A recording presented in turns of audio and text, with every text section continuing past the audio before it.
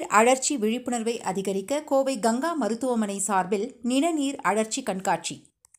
நிணநீர் அழற்சி விழிப்புணர்வை அதிகரிக்க கோவை கங்கா மருத்துவமனை சார்பில் நிணநீர் அழற்சி கண்காட்சியை இம்மருத்துவமனையின் நிர்வாக இயக்குநர் கனகவல்லி சண்முகநாதன் துவக்கி வைத்தார்.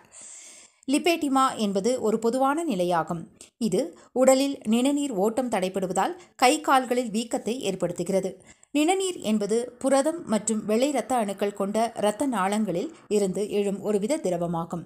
புற்றுநோய்க்கு அளிக்கப்படும் சிகிச்சை பைலேரியாசிஸ் எனும் கொசுக்கடியால் ஏற்படும் நோய் உடலில் ஏற்படும் அதிர்ச்சி மற்றும் சில சமயங்களில் நிணநீர் பாதைகளில் மிக குறைவான ஓட்டம் உள்ளிட்ட பிறவி பிரச்சினைகள் போன்றவற்றின் காரணமாக இந்த நிணநீர் மண்டலங்கள் பாதிக்கப்படுகின்றன.